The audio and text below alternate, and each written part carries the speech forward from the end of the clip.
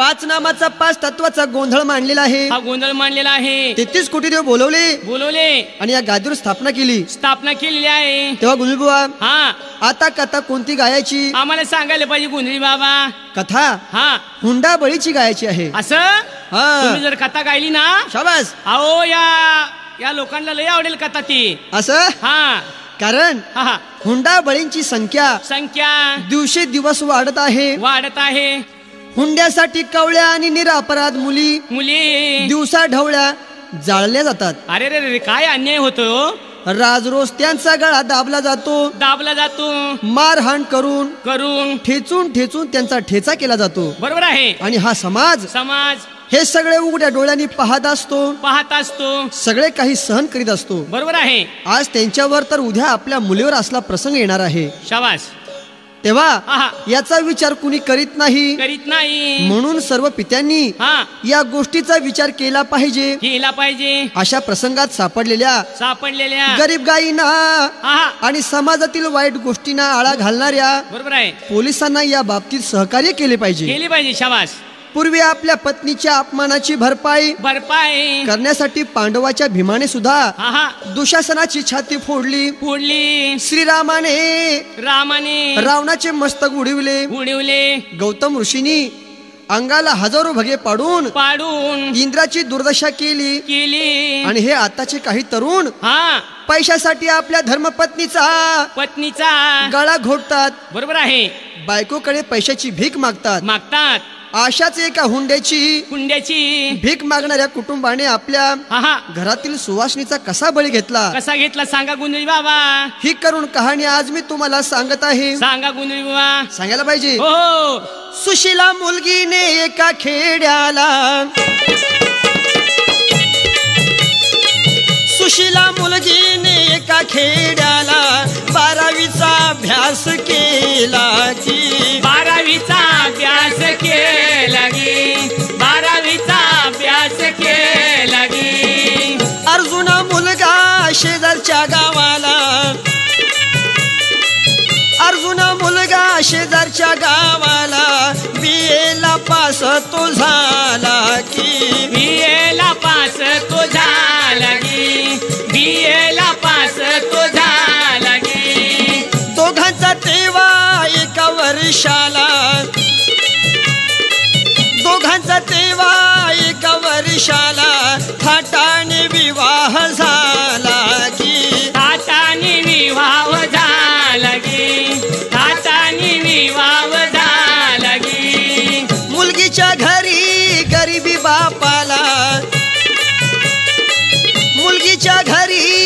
गरिबी बापाला सासरा मोठा हुद्याला की. सासरा मोठा होत्या लगी सासरा मोठा होत्या लगी अधिकारी होता मोठ्या हप्पिसाला अधिकारी होता मोठ्या हप्पिसाला गाव थरा थरा कापे त्याला की. गाव थरा थरा कापित्या थरा कापित्या लगी अशा प्रकारे बर. एका खेड्यात राहणारी राहणारी सुशिला नावाची मुलगी मुलगी स्वभावाने फार शांत होती. शांत होती. वर्तनाने अगदी सुशील होती. सुशील होती. आणि मनाने एकदम मन मिळावू होती. होती. गरिबीमुळे बरोबर आहे. तिला बारावी पास झाल्यावर झाल्यावर शिक्षण सोडावे लागले. सोडावे लागले. शेजारच्या गावचा अर्जुन नावाचा मुलगा मुलगा बी ए पास झाला होता. झाला होता. त्याचे वडील हा. सरकारी अधिकारी असल्याने असल्याने घरची श्रीमंती तर होतीच. होती. परंतु गावात त्याचा फार मोठा वचक होता. होता. सुशिला ही मुलगी देखणी असल्याने असल्याने अर्जुनाला फार फार आवडली. आवडली. आणि आई बापाच्या सल्ल्याने सल्ल्याने दोघांचे लग्न झाले. झाले. मोठ्या थाटात पार पडले. पडले. लग्नाच्या वेळी वेळी काय तो सोहळा होता? काय सोहळा होता सांगा गुंजरी बुवा हळदीचा सोहळा. चौघडा वाजेदारी. हळदीचा सोहळा चौघडा वाजेदारी. वऱ्हाडालई बाई उद्या लग्नाची तयारी. वऱ्हाडालई बाई उद्या लग्नाची तयारी. वऱ्हाडालय बाई उद्या लग्नाची तयारी.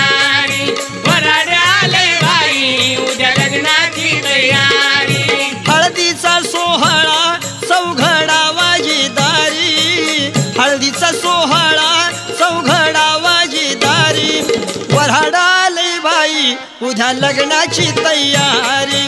वऱ्हाडालय बाई उद्या लग्नाची तयारी. वराड आलंय बाई उद्या लग्नाची तयारी.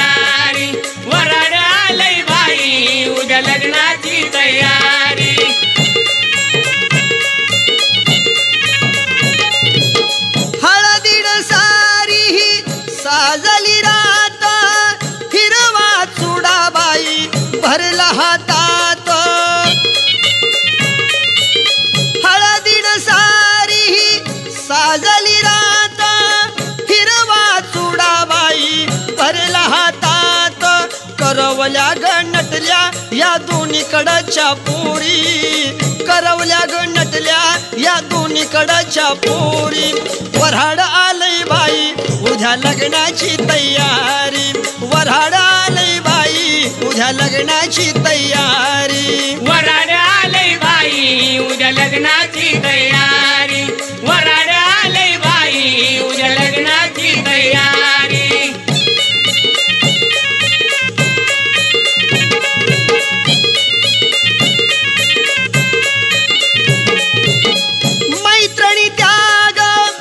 म्हणती मजला परक्या घरची तू होशील आजला? मैत्रिणी त्याग म्हणती मजला परक्या घरची तू होशील आजला? सांगती हित गुज मजुबाई सुन शेजारी. सांगती हित गुज मजुबाई सुन शेजारी. वऱ्हाडालय बाई उद्या लग्नाची तयारी. वऱ्हाडालय बाई उद्या लग्नाची तयारी. वराड आलंय बाई उद्या लग्नाची तयारी. वराड आलंय बाई उद्या लग्नाची तयारी.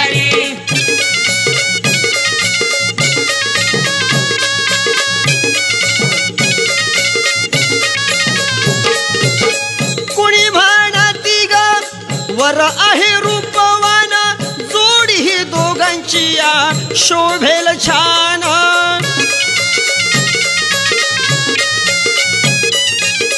कुणी म्हणती ग वर आहे रूपवान जोडी ही दोघांची या. शोभेल छान. छगन बंधू माझा उभा मांडवाच्या दारी. छगन बंधू माझा उभा मांडवाच्या दारी. वऱ्हाडाल उद्या लग्नाची तयारी. वऱ्हाडालय बाई उद्या लग्नाची तयारी. वराड आलंय बाई उद्या लग्नाची तयारी. वराड आलंय बाई उद्या लग्नाची तयारी. अशा प्रमाणे बर. त्या अर्जुनाचं आणि त्या सुशीलाचं लग्न लग्न. आनंदात पार पडलं. पडलं. परंतु हा. हा आनंद जास्त दिवस टिकला नाही. टिकला नाही. पुढं काय झालं? काय झालं बाबा? नव्याचे नऊ दिवस ते बरे गेले. नव्याचे नऊ दिवस ते बरे गेले. सुशीलाचे हाल सुरू झाले की. सुशिलाचे हाल सुरू झाले सुशिलाचे हाल सुरू झाले सांगितले तिजला माहेरी जावे सासू सासऱ्याने काय सांगितले? काय सांगितले बरं? सांगायला पाहिजे. सांगा बरं गुरु बाबा. सांगितले तिजला माहेरी जावे एक लाख रुपये आणावे की. एक लाख रुपये आणावे गे एक लाख रुपये आणावे गे बापाची गरिबी होती तिला ठावे. बापाची गरिबी होती तिला ठावे पैसे त्यांनी कुठून आणावे की? पैसे त्याने कुठून आणावे गे पैसे त्याने कुठून आणावे गे नित्याई बापाला सांगून ती दमली. नित्याई बापाला सांगून ती दमली. रक्कम नाही सारी जमली गी रक्कम नाही सारी जमली गे रक्कम सुशिलाची तेवा मारहाण वाढली. सुशिलाची तेवा मारहाण वाढली. माहेरी नाही तिला धाडली की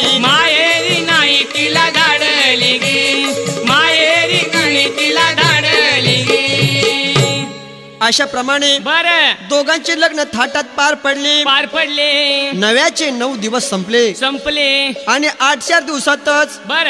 सासू सासऱ्याने सासऱ्याने सुशिलेच्या आई बापाकडे पडे एक लाख रुपयाची मागणी केली. मागणी केली. सासऱ्याने तिला सांगितले काय सांगितले बर? अगं सुशिला काय झालं बाबा? तुझ्या माहेराला जाऊन जाऊन एक लाख रुपये घेऊन ये. घेऊन ये. सुशिलाने आपल्या आई वडिलांच्या कानावर ही गोष्ट घातली. घातली. पण सुशिलाचे आई वडील एकदम गरीब होते. गरीब होते. एक लाख रुपये त्यांनी कधी पाहिले सुद्धा पाहिले नव्हते नव्हते बरोबर आहे. मग एवढी मोठी रक्कम ते कसे देणार? देणार. तेव्हापासून त्या सुशिलेचा छळ छळ. त्या सासू सासऱ्याने सुरू केला. सुरू केला. तिची मारहाण वाढली. वाढली. एक लाख रुपये मिळाल्याशिवाय मिळाल्याशिवाय तिला माहेरी पाठवायचं नाही. नाही. असं त्या सासू सासऱ्याने ठरवून ठेवलं. ठरवून ठेवलं. तसं तिच्या माहेरी त्यांनी निरोप धाडला धाडला. की एक लाख रुपये घेऊन यावे. घेऊन यावे. तरच पुरीला माहेरी न्यावे. न्यावे. तिचा नवरा देखील. देखील. त्या आई बापासारखाच वागू लागला. वागू लागला. बिचारीला कोणाचाच आधार राहिला नाही. नाही. तिचा नवरा अर्जुन आता काय करीत होता? काय करीत होता बरं? अर्जुन होता सरकारी कामाला. होता सरकारी कामाला गावातच होता राहायला की गावातच होता राहाया लागे गावातच होता राहाया लागे सात वर्षाचा काळ असा गेला. सात वर्षाचा हा काळ असा गेला. दोन मुलगे झाले सुशिला की दोन मुलगे झाले सुशीला लागे राखी पौर्णिमेचा सण तेव्हाला. राखी पौर्णिमेचा सण तेव्हाला. भाऊ तिचा न्यायाला.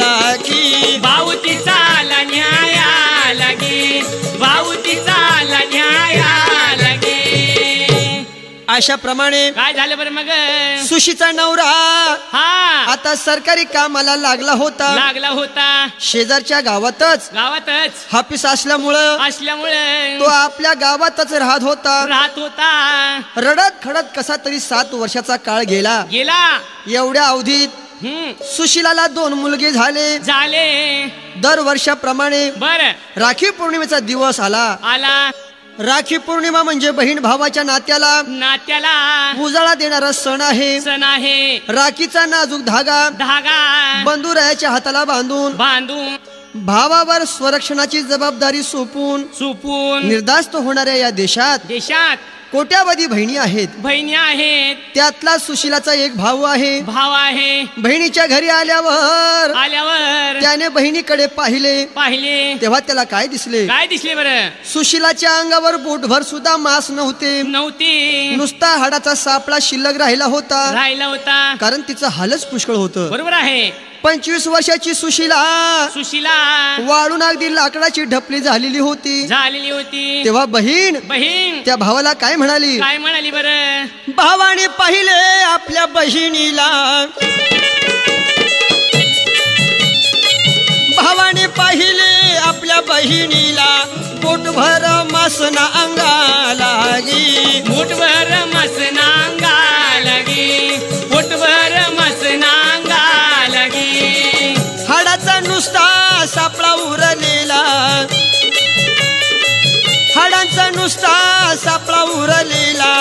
बहीण काय बोलली त्या लागी? बहीण काय बोली त्या लगी? बहीण काय बोली त्या लगी? दादा मला इथून घेऊन या जावी. दादा आहा. तू मला आला न्यायाला. न्यायाला.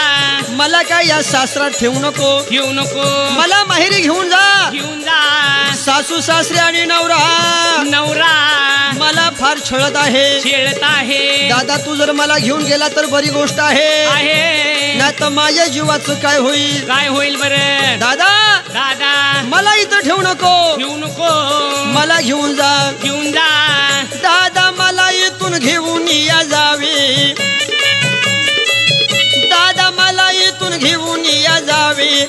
दुःखातून मला सोडवावे की? दुःखातून मला सोडवावे गे दुःखातून मला सोडवावे गे नाहीतर दादा तुला मी सांगते. नाहीतर दादा तुला मी सांगते. शेवटची राखी बांधते की? शेवटची राखी बांधते की? शेवटची राखी बांध अशाप्रमाणे बर. सुशीला आपल्या भावाला म्हणाली काय म्हणाली? दादा दादा. मला आता या राक्षसाच्या हातून सोडव. सोड मला हा जात आता सहन होत नाही. नाही. नाहीतर ही. शेवटचीच राखी. राखी. तुला बांधते असं समज. समज. बहिणीची केविलवाणी दशा पाहून पाहून. भावाने तिच्या सासू सासऱ्याला बर. विनंती केली केली. की माझ्या बहिणीला माहेराला धाडा. धाडा. परंतु सासू सासऱ्याने हा काय केले? काय केले बर? विनंती करता सासू सासऱ्याला. विनंती करता सासू सासऱ्याला. धाडीले नाही बहिणीला की. धाडीले नाही बहिणी लागे धाडीले नाही बहिणी लागे निघाला भाऊ परत जायाला. निघाला रडाया लागी लागली बाई रडाया लागे लागली बाई रडाया लागे तेव्हा आहा. मोठी हिंमत करून सुशीलेच्या भावानं भावानं सासू सासऱ्याला विचारलं विचारलं माझ्या बहिणीला तुम्ही का धाडत नाही? का धाडत नाही? त्याबद्दल तुम्हाला काय पाहिजे? काय पाहिजे? तेव्हा तिचा सासरा काय म्हणाला काय म्हणाला? गावात वाडा घेतला बांधायाला. गावात वाडा घेतला बांधायाला. लाख रुपये द्यावे आम्हाला की लाख रुपये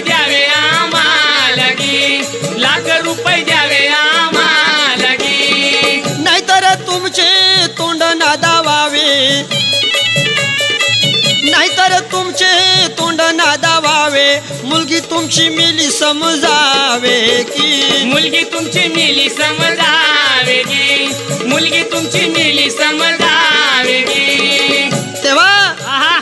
एवढं ऐकून भावाला वाईट वाटलं. वाईट वाटलं. भाव पडला एकटा. एकटा. आणि त्यांची माणसं फार होती. भावाचा तेवा विलाज हो खुटला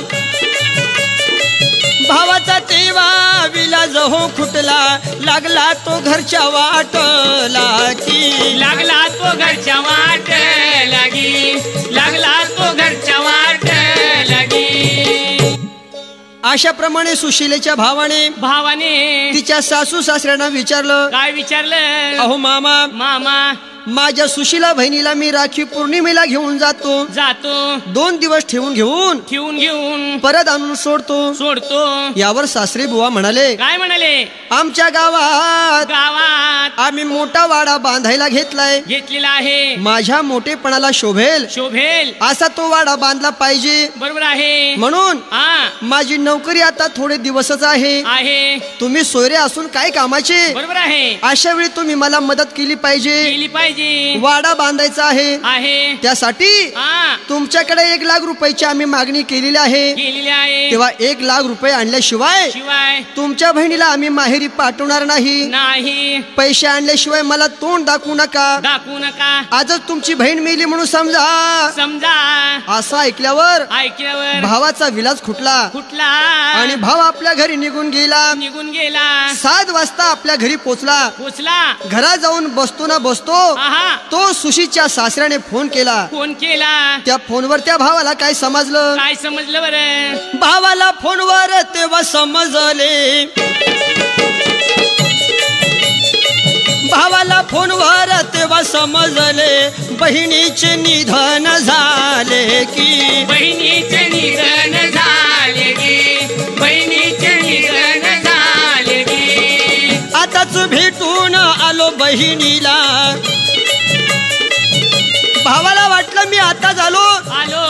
आणि एवढ्यामध्ये बहिणीची मरणाची वार्ता कशी आली? कशी आली? आताच भेटून आलो बहिणीला. आताच भेटून आलो बहिणीला. एवढ्यात घात कसा झाला की? एवढ्यात घात कसा झाला गे एवढ्यात घात कसा झाला गे बहिणीला घेऊन आलो मी असतो. बहिणीला घेऊन आलो मी असतो बहिणीला मुकलो मी नसतो की बहिणीला मुकलो मी नसतो गे बहिणीला मुकलो मी नसतो गे आता आहा. आता बहीण म्हणू मी कुणाला? ताई आहा. तू मला सोडून गेली आता मी बहीण कुणाला म्हणू? कुणाला म्हणू? आता बहीण म्हणू मी कुणाला? चोळी पातळ घेऊ मी कुणाला? चोळी पातळ घेऊ मी कुणाला? सण दिवाळी त्या दसऱ्याला. सण दिवाळी त्या दसऱ्याला. आया बाया जात्याल वळायला आया बाया जात्याल वळायला ताई आता मी तुझा भाऊ कुणाच्या दारा जाऊ? सण दिवाळी त्या दसऱ्याला. आता कोण ओवाळीला मज लागी? आता कोण ओवाळीला मज लागे?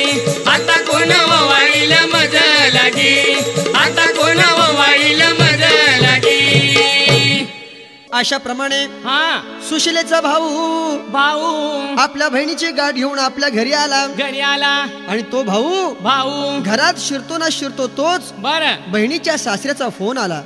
आला. तुमची मुलगी या जगातून निघून गेली. निघून गेली. तिने आत्महत्या केली. गेली भावाच्या पायाखालची माती सरकली. सरकली. आणि स्वतःला दोष देत काय म्हणतो? काय बर?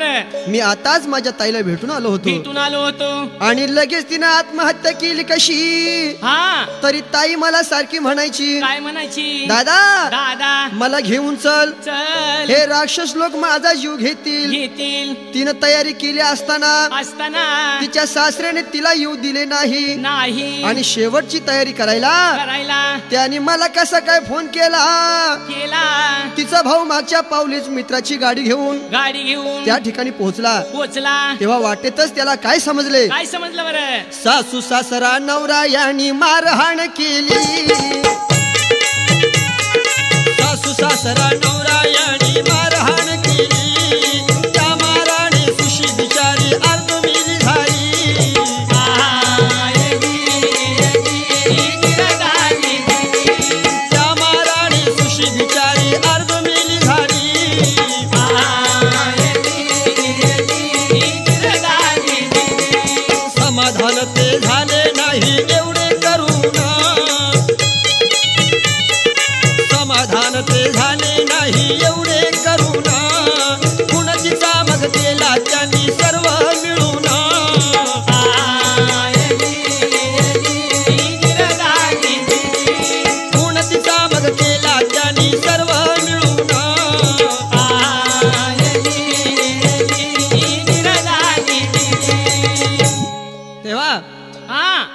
रात्रंदिवस पुरीला मारहाण झालेली. झालेली. शिवागळ्यांनी छळ केलेला. केलेला. अपुरे अन्न आणि उपासमार मार. यामुळे हाडांचा सापळा झालेला. झालेला. आणि बर. तिच्या गळ्यावर हाताची पकड बसताच बसताच. तिचा जीव गेला असावा. आहा. अशी कल्पना एका माणसानं माणसानं त्या भावाला दिली. दिली. आणि इकडं बर. सुशीला बेशुद्ध पडताच पडताच. हा सर्व प्रकार तिच्या नवऱ्याच्या ध्यानामध्ये आला. आला. आणि तो धावत धावत धावत धावत. डॉक्टरांच्या घरी गेला. गेला. आणि त्याने डॉक्टरांना काय सांगितलं? काय सांगितले बरं? अर्जुन वार्ता डॉक्टरांच्या कानावर घाली माझ्या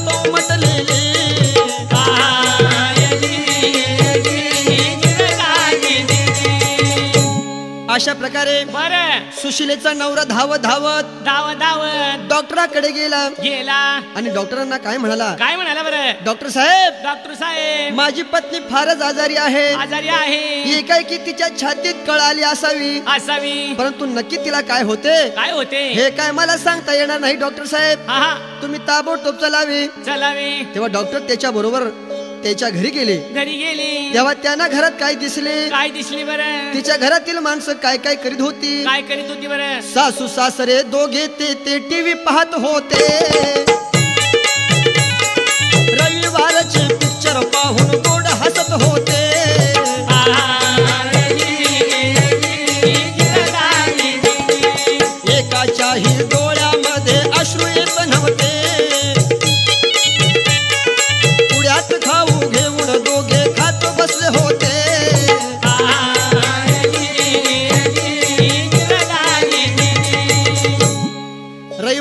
दिवस असल्यानं असल्यानं टीव्ही वरती बर. एक हिंदी सिनेमा चालू होता. चालू होता. सासू आणि सासरा.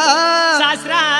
टीव्ही वरती सिनेमा बघण्यात रंगले होते. रंगले होते. मुलगा डॉक्टरकडे गेला आहे. गेला आहे. हे त्यांना माहीत नसावे. नसावे वा वा. अचानक डॉक्टर व मुलगा आल्यामुळं आल्यामुळं ते सर्व गप्प झाले. झाले. कागदावर घेतलेला खाऊ तसाच पुढे होता. होता. डॉक्टर आल्यामुळे त्यांनी खाणे थांबविले. थांबवले. परंतु एकाच्याही डोळ्यात अश्रूचा एक थेंबही दिसत नव्हता. दिसत नव्हता.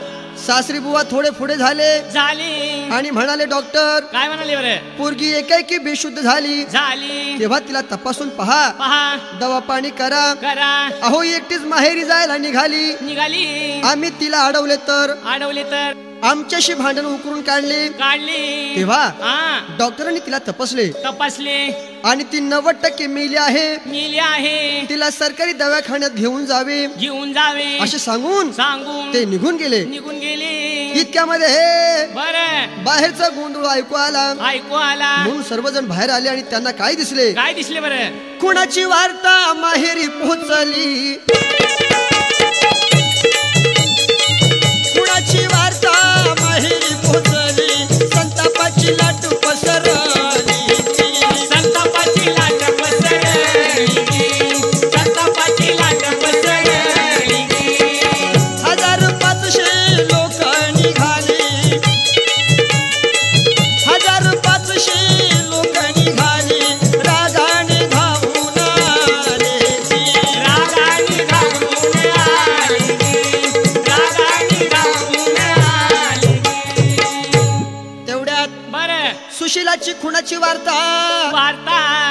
माहेरात पसरली. पसरली. सुशिलेचा खून झाल्याचे कळताच कळताच सारा गाव संतापला. संतापला. मिळेल ते वाहन घेऊन.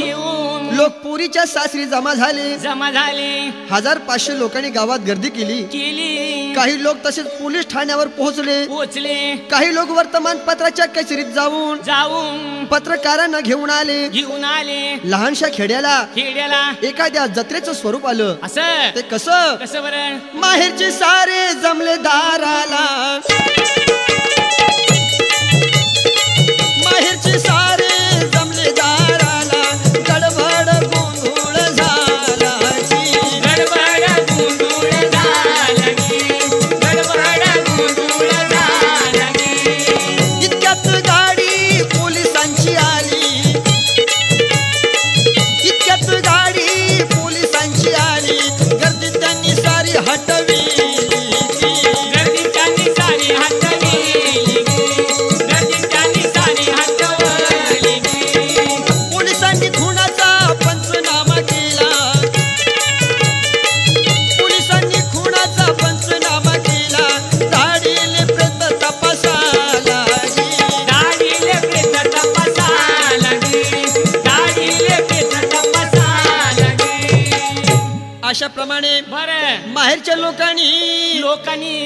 लोकांनी सुशिलेच्या दारा पुढं पुढं कालावा केला. कालवा केला. इतक्यात पोलीस आले. पोलीस आले. आणि त्यांनी दारा पुढची गर्दी हटवली. हटवली. प्रेताचा पंचनामा केला. केला. आणि प्रेत हा. सरकारी दवाखान्यात तपासासाठी पाठवले. पाठवले.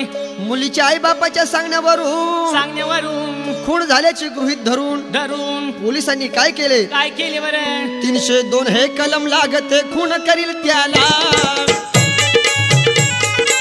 तीनशे दोन हे कलम लागते कोण करील त्याला.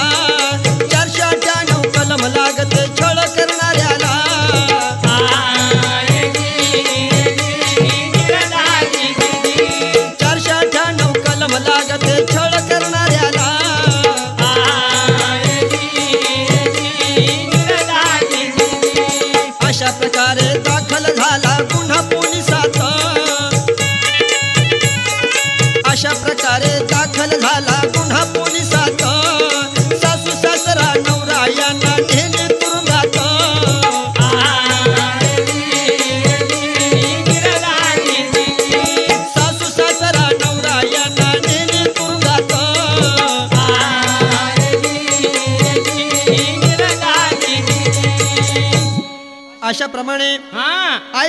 फिर्यादीवरून वरून. पोलिसांनी बर. भारतीय कायदा कलम तीनशे दोन अन्वये खून करणे करणे. चारशे अठ्ठ्याण्णव कलम अन्वये हा नवविवाहित मुलीला पैशासाठी छळणे खेळणे यासाठी गुन्हा दाखल करून करून. सासू सासरा आणि नवरा नवरा. या तिघांनाही अटक केली. केली. थोड्याच दिवसात आहा. दव्या खाण्याचा रिपोर्ट मिळाला. मिळाला. राखी पौर्णिमेच्या दिवशी दिवशी सदर सुशिला नावाच्या महिलेला महिलेला मारहाण करून आणि आणि तिचा गळा दाबून दाबून खून करण्यात आलेला आहे. आलेला आहे. त्यामुळे या तिघांनाही कोर्टाने दोषी ठरवून ठरवून जन्मठेपेची शिक्षा सुनावली. सुनावली. वाईट एवढंच वाटतं. काय बर? काय सांगायला पाहिजे? हो आम्हाला सांगायला पाहिजे. बापानं दखल घेतली असती. बापानं दखल घेतली असती. मुलगी ही मिली नसती. मुलगी मिली नसती. गे. मुलगी मिली नसती. गे. तेव्हा अशा प्रमाणे जर बापानं त्या मुलीची दखल घेतली असती. तिच्या सासरी जाऊन आपल्या मुलीची चौकशी केली असती.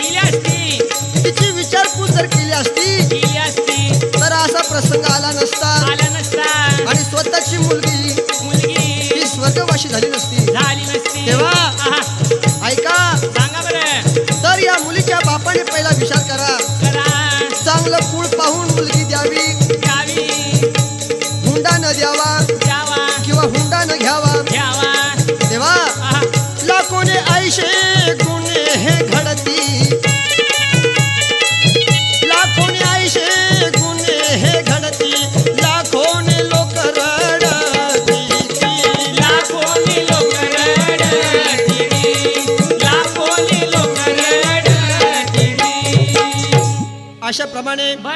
बापानं दखल घेतली असती असती. तर मुलीचा जीव वाचला असता. वाचला असता. रोज लाखोने असे गुन्हे घडत असतात. घडत असतात. लाखो लोकांचा आक्रोश कानावर पडत असतो. पडत असतो. परंतु हा. समाज याच्याकडे काना डोळा करतो. करतो बरोबर आहे. म्हणजे याला कारण? कारण काय बरं? हा समाजच आहे. असं. बिचारा बाप हा अडलेल्या गायीप्रमाणे बर. नडलेला असतो. नडलेला असतो. आपल्या पोटच्या गोळ्यासाठी साठी. नवऱ्या मंडळीची इच्छा पूर्ण करण्यासाठी करण्यासाठी. सर्व काही सहन करतो. करतो. हुंडा देण्यासाठी हा. तो कर्ज काढतो. काढतो. शेत जमीन विकतो. विकतो. कुठं जर जमलं नाही नाही. तर स्वतःचे राहते घर सुद्धा विकून टाकतो. बरोबर आहे. गरजवंताला अक्कल नसते. नसती. त्याप्रमाणे हे असतं. असतं बरोबर आहे. सासरची मंडळी मात्र हा. कुर्बानीच्या बकऱ्याप्रमाणे परमाने मुलीच्या बापाला कापायला बघतात. बघतात. सासऱ्याला फक्त पैसा हवा असतो. बरोबर आहे. ननंदागी तेल ओतते वत्ती. आणि सासूबाई तिला हा. निष्ठुरपणे जाळते. जाळते. परंतु सासूबाई ही विसरते. विसरती. की ती सुद्धा पूर्वी कुणाची तरी सून असते. बरोबर आहे. यासाठी या हुंडाबळीची कीड आता संपूर्ण नाहीशी केली पाहिजे. केली पाहिजे. त्यासाठी हा. तरुणांनी पुढाकार घेतला पाहिजे. घेतला पाहिजे. पुढाकार घेऊन घेऊन. नवविचारांच्या औषधाची फवारणी केली पाहिजे. केली पाहिजे. आणि त्या किडीचा हा. नायनाट केला पाहिजे. शाबास. आणि याकरिता करता. तरुणांनीच बर. जनतेला आव्हान केले पाहिजे. केली पाहिजे. काय केले पाहिजे? काय बर? हुंडा देऊ नका. हुंडा घेऊ नका.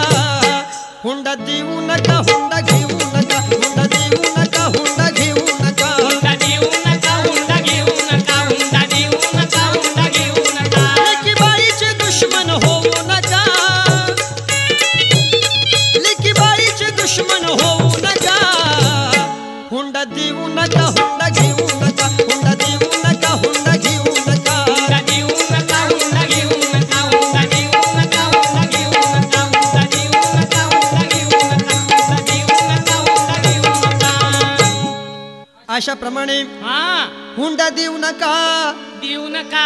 आणि हुंडा घेऊ नका. घेऊ नका. हा प्रेमाचा सल्ला सल्ला. आम्ही समाजाला देत आहोत. देत आहोत. महिलांनी सुद्धा खंबीर झाले पाहिजे. बरोबर आहे. महिलांचे प्रश्न सोडविणाऱ्या हा. अनेक संस्था आहेत. संस्था आहेत. त्यांच्या मार्फत आपले गारहाणे पोहोचवले पाहिजे. पोचवली पाहिजे. झाशीची राणी राणी. अहिल्याबाई बरोबर आहे. इंदिरा गांधी गांधी. यांचा आदर्श ठेवून ठेवून. अंबाबाईचं रणचंडिकेचे रूप धारण करून करून. या हुंडारूपी महिषासुराचे सुराची. खंडन केले पाहिजे. बरोबर आहे. म्हणून आम्ही काय म्हणतो? काय म्हणता बरं? आया बायाना आम्ही कळवितो.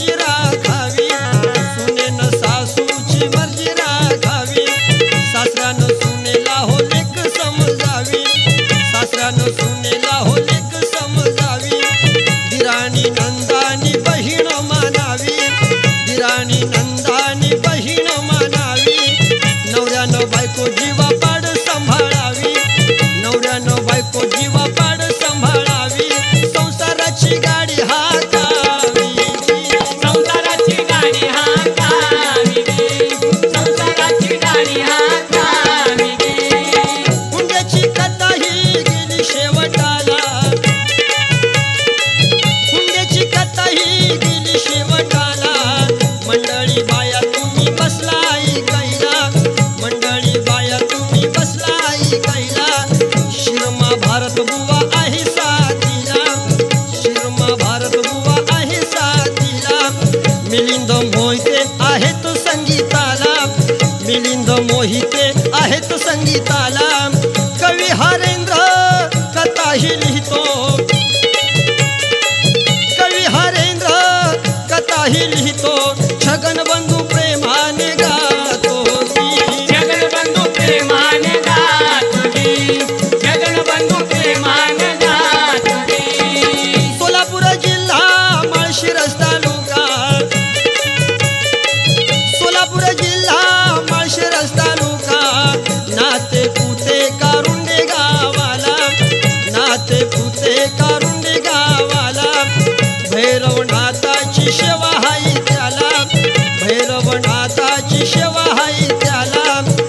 कॅशेट घ्यावे अहो विंग्ज कंपनीला.